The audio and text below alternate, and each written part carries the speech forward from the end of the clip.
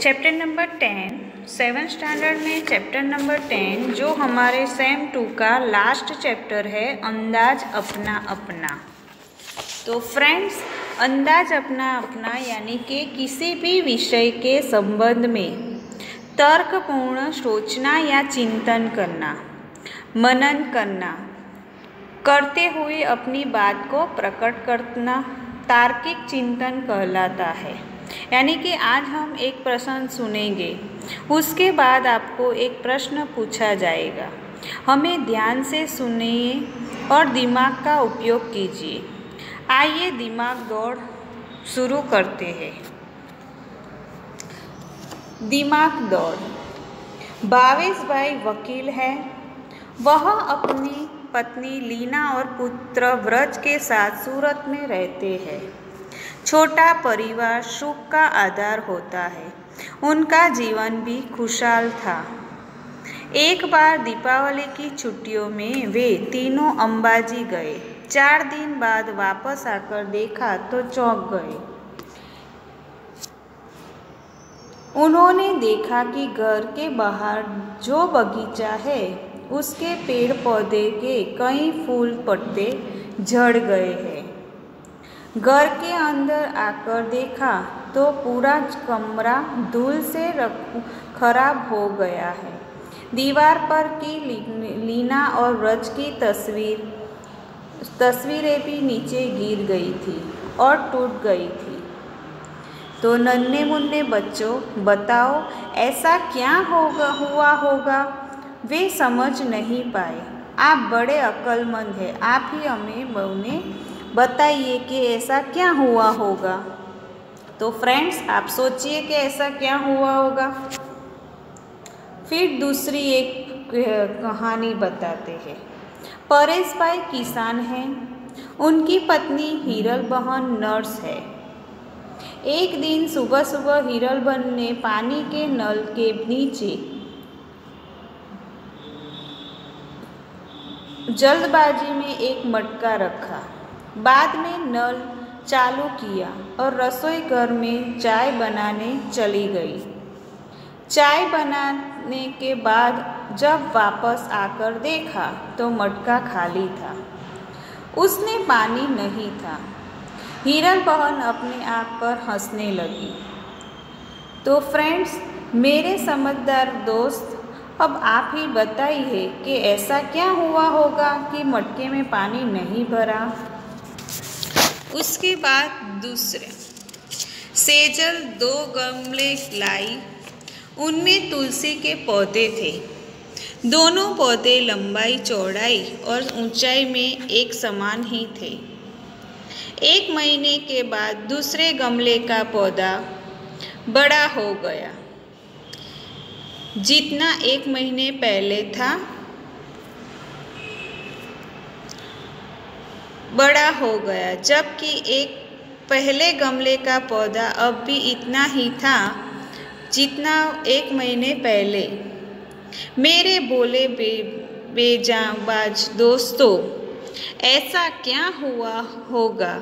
आप ही बताइए कि एक पौधा बढ़ गया और दूसरा पौधा जैसा था वैसा ही है। क्यों ऐसा हुआ?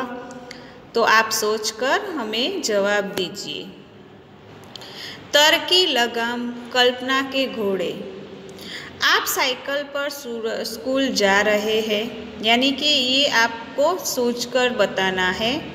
आप साइकिल पर स्कूल जा रहे हैं, रास्ते में देखा तो एक आदमी हाथ हिलाकर आपको रुकने का इशारा कर रहा था। आप रुके। उसने कहा कि, बगल वाले गाँव में मेरा जाना ज़रूरी है। आपने उस आदमी को साइकिल पर बिठाया और पास वाले गाँव तक पहुँचाया। वहाँ जाकर आपको पता चला कि वहाँ एक जादूगर का कार्यक्रम होने वाला है और वह आदमी उसका सहायक है। उस आदमी ने आपको जादू के खेल देखने का अनुरोध किया, पर पाठशाला पहुँचने में देरी हो जाएगी। यह सोचकर आपने मना कर दिया। उस आदमी ने सारी बात जादूगर को बताई।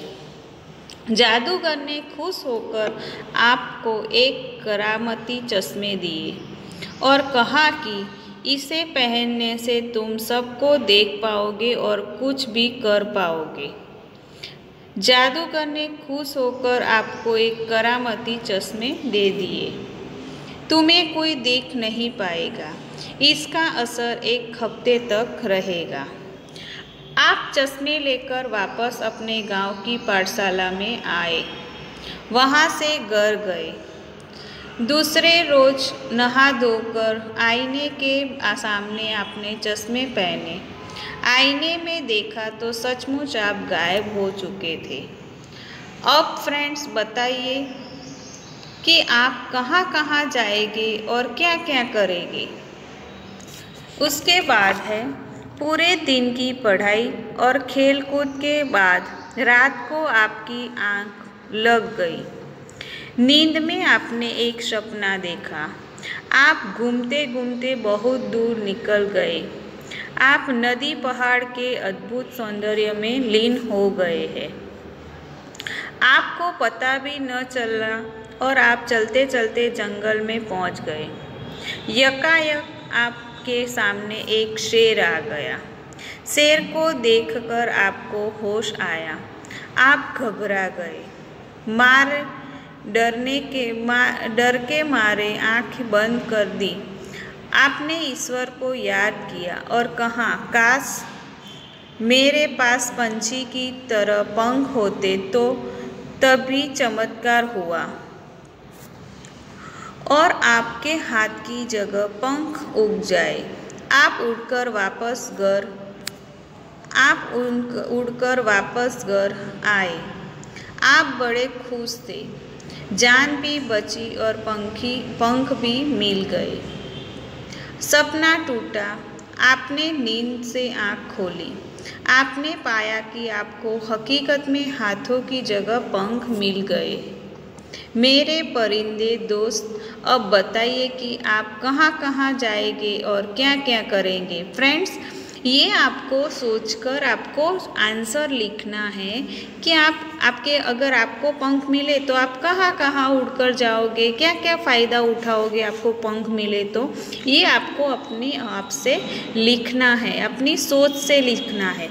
और उसके आगे के जो क्वेश्चन था, कि चश्मा कि आपको ऐसे चमत्कारी चश्मे मिले तो आप क्या करोगे? तो वो भी आपको अपनी बुद्धि से, आपकी बुद्धि और तर्क से आपको लिखना है कि ऐसे चमत्कारी चश्मे आपको भी मिल जाए तो आप क्या करोगे? है ना? तो ये दोनों प्रश्न आपको अपनी तरह से सुलझाने हैं और लिखना है कि मेरे, मुझे अगर ऐसे पंख मिल जाए, ऐसे चश्मे मिल जाए तो मैं ये करूँगा, है ना? उसके बाद है इस बार अपनी मज़ेदार और अनोखी कसौटी होने वाली है। एक बड़ा जहाज़ आपको निर्जन द्वीप पर ले जाना है।